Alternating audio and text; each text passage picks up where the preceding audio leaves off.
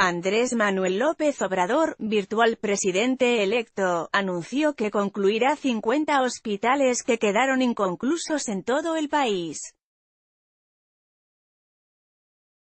Se va a rehabilitar los hospitales que se quedaron inconclusos, alrededor de 50 hospitales en todo el país que no se terminaron, es una infraestructura abandonada, se gastaron miles de millones de pesos en la construcción de estos hospitales que no se concluyeron en todo el país, detalló MLO, el virtual presidente electo señaló que antes de construir hospitales nuevos se va a invertir en los inmuebles abandonados un monto de más de 10 mil millones de pesos.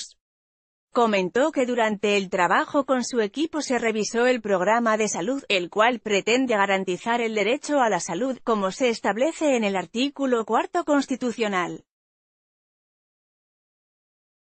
AMLO defiende nombramiento de Manuel Bartlett en apuntó que ese artículo es letra muerta, porque no se garantiza en el país el derecho a la salud. Por eso vamos a iniciar una acción que va a consistir en rehabilitar para mejorar el servicio de atención en las unidades médicas territoriales que tienen la Secretaría de Salud y el Instituto Mexicano del Seguro Social, dijo que estas unidades médicas se crearon en los años y son operadas por el Seguro Social, sin embargo, dijo, se encuentran abandonadas.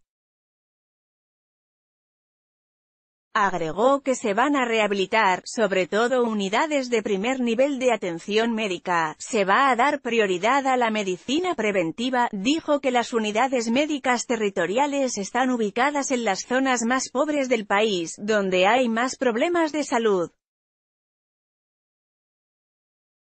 Añadió que van a ser abastecidas, vamos a mejorar y vamos a garantizar el abasto de medicamentos. AMLO, Sedesol se transformará en la Secretaría del Bienestar dio a conocer que una vez que tenga el certificado de presidente electo dará a conocer 25 programas prioritarios estratégicos para el desarrollo del país.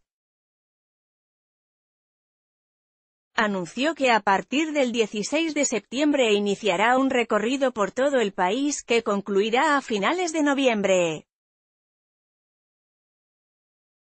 Va a ser una presidencia itinerante, no voy a estar todo el tiempo en la Ciudad de México porque México son las 32 entidades federativas. Voy a estar gobernando desde abajo y con la gente, detalló. López Obrador además dijo que va a asistir al primer foro que se va a llevar a cabo en Ciudad Juárez, con el propósito de consultar a los ciudadanos y asociaciones, religiosos, especialistas y expertos en materia de seguridad pública para conseguir la paz en el país. Con información de Foro TVBLR.